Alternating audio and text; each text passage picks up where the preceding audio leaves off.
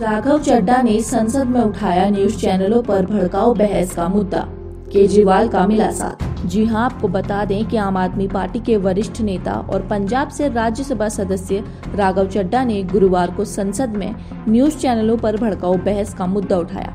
उन्होंने सूचना एवं प्रसारण मंत्री से सवाल किया कि भड़काऊ बहस कराने वाले चैनलों के खिलाफ केंद्र सरकार क्या कार्रवाई कर रही है? राज्यसभा सदस्य राघव चड्डा ने कहा कि राज्यसभा के उप सभापति हरिवंश नारायण सिंह खुद एक पत्रकार रहे हैं और खबरों के महत्व को अच्छी तरह जानते हैं। आज देश में समाचार ध्वनि प्रदूषण में बदल गया है। अधिकांश चैनल शाम पाँच बजे से ग्यारह बजे तक भड़काऊ डिबेट कर मानसिक प्रदूषण फैलाने का काम करते हैं। राघव चड्डा ने डिप्टी चेयरमैन के ज़रिए केंद्र सरकार से सवाल किया, क्या मानसिक प्रदूषण फैलाने वाले भड़काऊ न्यूज़ चैनलों और एंकरों के खिलाफ केंद्र सरकार कोई कार्रवाई कर रही है? यदि हाँ तो क्या कार्रवाई की गई है?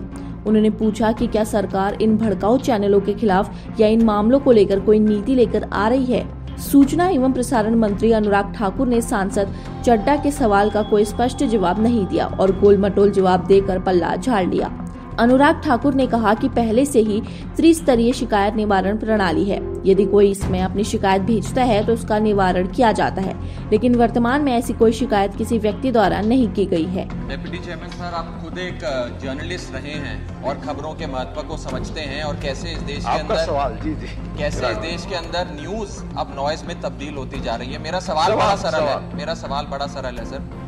देश में अधिकतर चैनल शाम पाँच बजे के बाद रात ग्यारह बजे तक एक भड़काऊ बहस कराकर मानसिक प्रदूषण फैलाने का प्रयास करते हैं। मैं मेरा सवाल बड़ा सरल है माननीय मंत्री जी से आपके माध्यम से कि क्या उन भड़काऊ चैनल्स और उन भड़काऊ एंकर्स के खिलाफ सरकार कोई योजना लाकर उनके खिलाफ कार्रवाई कर रही है? और कर रही है तो क्या कर रही है? वो सदन को बताया